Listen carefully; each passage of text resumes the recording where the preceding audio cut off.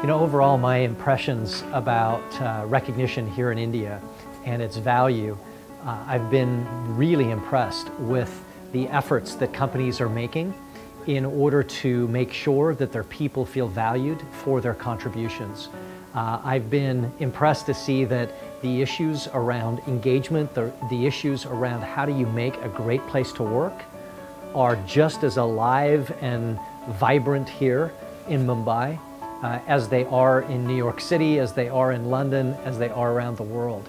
And uh, just listening to some of the impressive stories of some of the HR leaders at this conference uh, has inspired me to think more about what can I do to help managers, to help leaders in organizations think differently about the power of recognition and the impact that it makes in people's lives and on the performance of their organizations. So it, it, I've been really impressed.